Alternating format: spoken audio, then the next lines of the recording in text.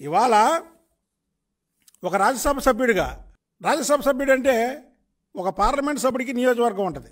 ఒక రాజ్యసభ సభ్యుడికి నియోజకవర్గం లేదు. పార్టీ పార్టీ వాణి ఏదైనా ఉంటే ఢిల్లీలో ఇక్కడికి ఉన్నటువంటి నిధుల్ని తీసుకురావడం కోసం ఢిల్లీలో మాట్లాడాల్సిన పని రాజ్యసభ సభ్యుడిది.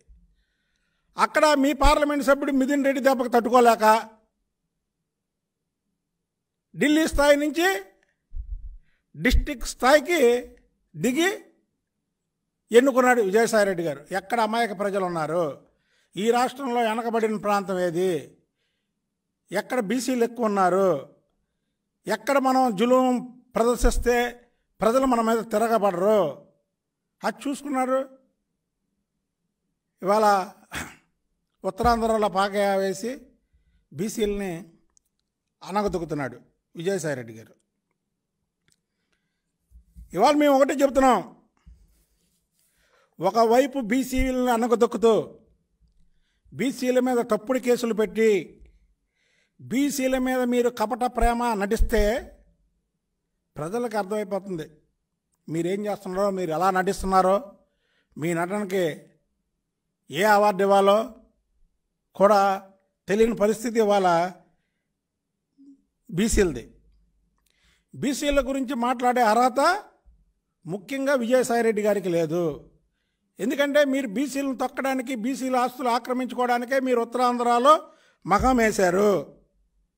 కాబట్టికి మీకు బీసీల గురించి మాట్లాడే అర్హత లేదు. మీరు మాట వస్తే ట్విట్టర్లో బీసీలకి చంద్రబాబు నాయుడు గారు అన్యాయం చేశాడు బీసీలకి ఇదా న్యాయం చేయడు అని వ్యంగ్యంగా మాట్లాడడం మాత్రం మానుకోవాలి. మీ కారు కూతలు ప్రజలు గమనిస్తున్నారు. మీకు రెండు వేల ఇరవై నాలుగులో మీకు ప్రజలు బుద్ధి చెబుతారు.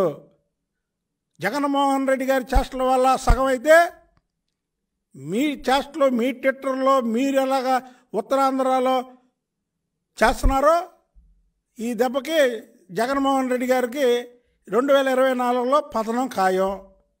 విజయసాయిరెడ్డి గారు ఇన్ఛార్జిగా ఉన్నటువంటి ఉత్తరాంధ్రలో ఉన్నటువంటి ముప్పై తొమ్మిది సీట్లు ముప్పై తొమ్మిది సీట్లు ఇరవై రెండు వేల ఇరవై నాలుగులో తెలుగుదేశం పార్టీకి రావడం ఖాయం. ఇవన్నీ కూడా బీసీలు ఇప్పటి నుంచే వాళ్ళ సర్వేలు ఉన్నాయి.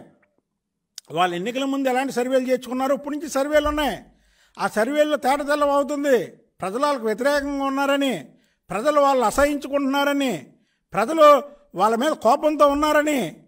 కానీ అందుకనే అందిన కాడికల్లా దోచేస్తున్నారు ఇవాళ. వైసీపీ నాయకులు అందిన కాడి వల్ల దోచేస్తున్నారు.